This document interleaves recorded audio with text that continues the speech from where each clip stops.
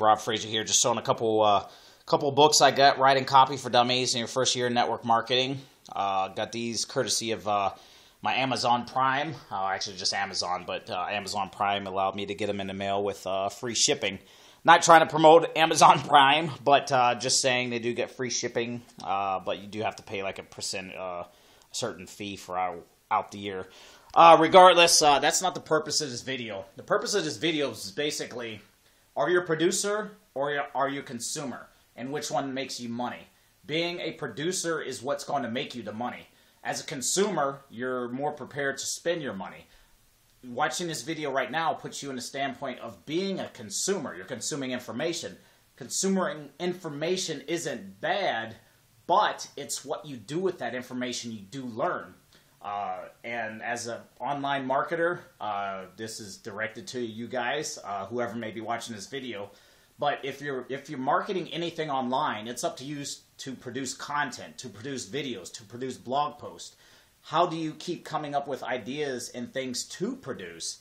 Is that where you read books? You know, for example, the writing copy for dummies, your first year network marketing, Think and Grow Rich, things like this. Reading books helps stimulate your thinking to help you come up with content so you can produce content so you can make money as a consumer and I fell into this trap myself. I would always go around buying every single course out there because I thought that that course was the answer to something that I needed this information to be successful. And then after I got that information, then I needed this other course over here, just more information, and then I needed this over here, and then I needed this over here, and then I kept going around in all these different circles spending my money, never producing or never acting on different things that I've learned.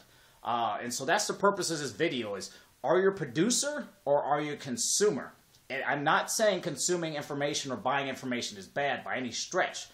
I'm just saying it's what you do with that information. You, you learn something, you apply it to your business, you put it into a video, what you learned, how it helped your business, show numbers, different things like that, and that's how you make more money. So, uh, just throwing that out there. Also, to learn more information like this, uh, this is where I've learned this. I've applied it to my business, and I started making money with this. There's a link below this YouTube video. Click it. It'll show you uh, where I learned all this information.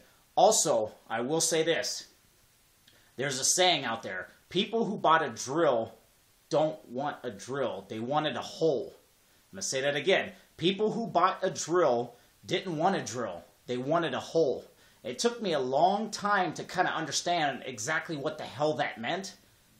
But think about it. People making money online are marketing to other marketers. They're not marketing to people unemployed on Craigslist. They're not marketing to their family and friends. They are marketing to other marketers. And what are they marketing? People in other businesses don't want to join another business.